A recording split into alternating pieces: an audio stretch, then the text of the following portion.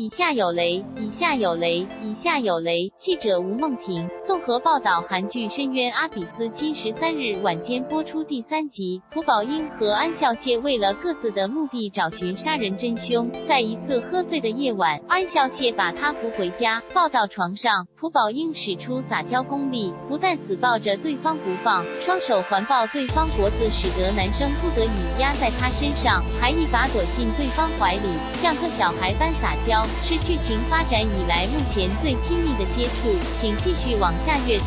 朴宝英喝醉，安孝燮扶他进房。图翻摄自 TVN。朴宝英饰演死而复生的检察官高世炎，为了找出杀害他的凶手，与用水晶球救活他的二十年老友车迷安孝燮饰演，开始联手调查案件。而死过一次复生后变成绝世美男的车迷，则是希望能借此找回他失踪的未婚妻下落。显然目前。前没有来电的两人，一次高世妍酒醉被车迷扶回家，他双手紧紧环绕着对方的脖子，导致男生要把他放在床上时，一个箭步变成压在女生身上。趁着男方去拿水，高世妍这时清醒。等等，我干嘛要对车迷撒娇？醒醒啊！朴宝英紧搂住安孝燮，下秒变成直接铺床。图翻摄自 TVN。没想到车迷一回来，高世妍又突然假装头晕，画波浪浪。符好混啊！波浪符硬是要靠在男生的怀里，仿佛小孩般的让他喂他喝水，一时被对方高大帅气的外貌给晕船了。不过此时车明的心还在前未婚妻上，执意要找到对方，丢下一个人在又黑又大房子里的高世妍出门去。等到安孝燮回来，朴宝英立马躺进他怀里撒娇。